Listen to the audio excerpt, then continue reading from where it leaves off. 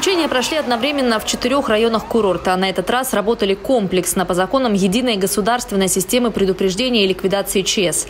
Это значит, что в учениях в одной связке работали не только пожарные, врачи скорой и сотрудники МЧС, но и специалисты водоканала, электросетей и представители районных администраций, в полномочия которых входит решение вопросов по защите населения. Спасатели федеральные, муниципальные, субъектовые, все находятся здесь, до кинологических расчетов включительно.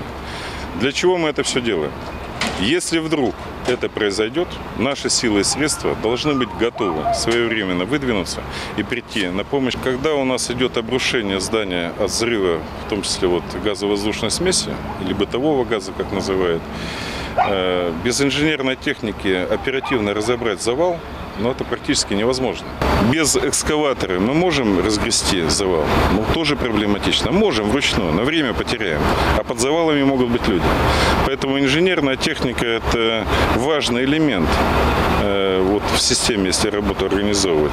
В городе она имеется. Вся техника, задействованная в учениях, предоставлена Хостинской администрации. Участие в ликвидации ЧС принял и весь районный штаб. Задачи у каждого свои, но именно здесь отрабатывается общий алгоритм действий. Цель, в первую очередь, отрабатывать взаимодействие всех служб федерального, краевого и муниципального уровня.